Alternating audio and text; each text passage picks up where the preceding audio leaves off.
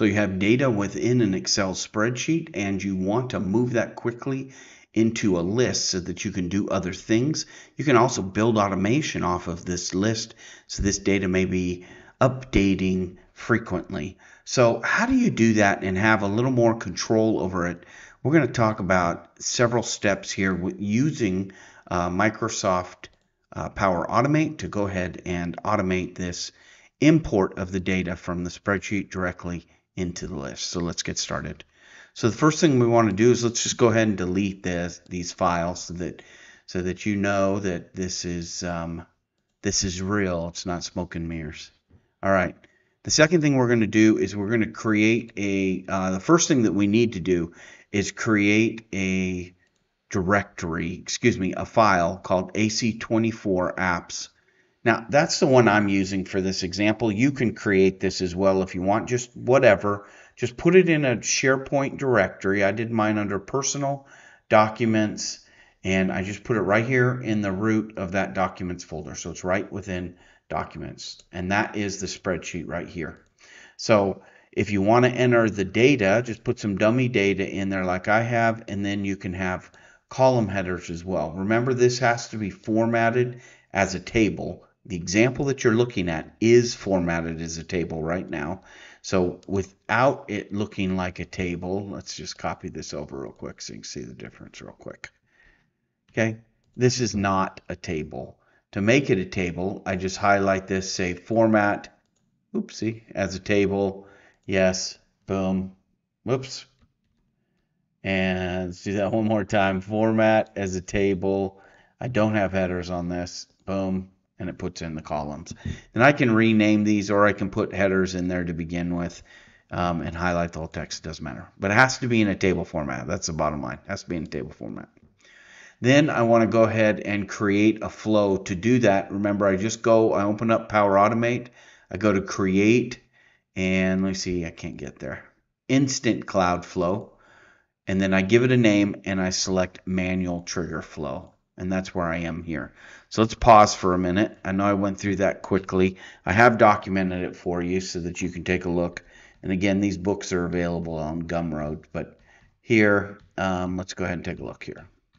All right, so here we just talk about creating the file, right, and the directory, and then we add some bogus data and we convert this spreadsheet to a table within Excel. That's it. And now we're here. So let's go back to, and we created the manual flow and we're right there. So here I just edited, added this. This will not appear when you first go in there, this date. You have to hit add input date. Then I modified this and that's it. So what that does is whenever I um, whenever I start the flow, it's going to automatically prompt me for the date. Okay. Next thing I need to add is a list rows. Remember, you just click on there, say add action, and we can just say list rows, for example, and it's going to go ahead right here, list rows present in a table. So that's the one we got there. And here you're just going to select your SharePoint site, right? You select it from the group there, select documents, and select the file. Pretty easy. And then this will be the default pretty much table one. Okay, unless you changed it, but that's it. That's that's as easy. I know we're going by pretty quick here, but that's as easy as these first two steps are. So here, let's review it here with the big bouncing uh, red dots. Here, the manual trigger, we're going to add the date. Remember, it was over here. And then we're going to change this to whatever we want. And then we're down to the next step. So the next step is list the rows. Oh, we talked about that already. So then uh, we list the rows and we put in the critical information, two, three, four, and five. Okay, then we're down dun, dun, dun, to the next step, which is the final step. So here we're going to create an item. Remember, this is create item. If you add an action here, you just say create. Whoops. If you spell it right, it comes up a little easier. Create an item right there, create item. So just go ahead and click on create item. Here again, we're going to point to that same SharePoint directory and the list name at this point. Now, this could be a different SharePoint directory, by the way. I keep it in the same, but you could do whatever you want, doesn't matter. But you need to point wherever this list is right here. Okay. And then we're going to click on show all if in case something's not in there, but most of the time it is, but you can click on show all.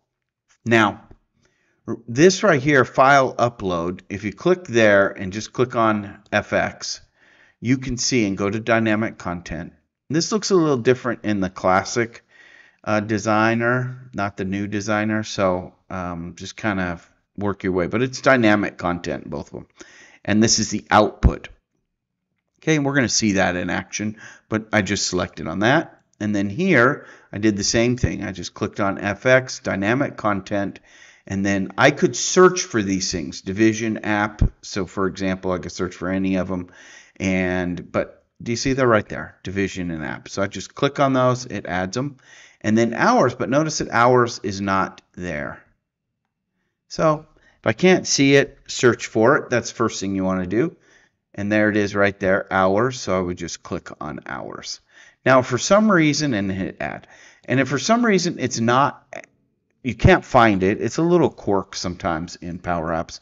Just hold your mouse over one of these and copy the code. Do you see where it says items, open paren, small quote, for each, close quote, close paren, question mark, square bracket, division, question, okay, square bracket. That is the code that's used. So you could, if you can't find something, you could just go here, whoops, you could go here and you could just start typing in the code. I, am so used to hitting FX. There is an easier way if you hit the lightning bolt than just those things pop up. So that makes it a lot easier. so anyways, now you know how to do it the hard way. Okay, that's all we need to do for this um, uh, for this Power Automate flow. So let's go ahead and test it. Let's see if it works. So remember, you have to have the file in there, which we do. And we're going to go ahead and just save this, right? Once you get done, save your work. And then we're not going to test it. We're just going to go outside and run it. Okay, a little bit different. Same kind of thing, but we're just going to run it.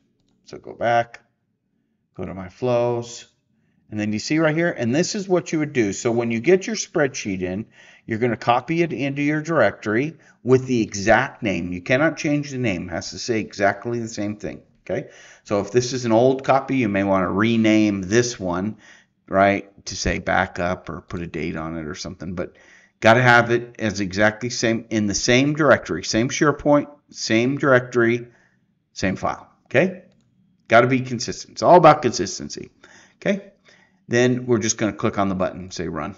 Now, it's going to come up and it's going to present us with the option of file upload date. We're just going to click on this and give it a date. We're just going to say the 5th. Let's say the 4th. And then we're going to hit run flow and done. Okay, now in a minute it's going to upload, but in the meantime, let's give that just a second to process and we'll take a look at our book here. So here, this is how we run it. We went back into flow and we hit the run button, the play button. Here we selected the date, run flow, and then done. I didn't do a screen picture, but that's it. And then this is what we should see within the list. So we can go to list and we have to refresh it because the list was open and there it is right there, 3, 4. Now remember, it's adding the date consistently for every single entry. So, um, so that's how that works. All right.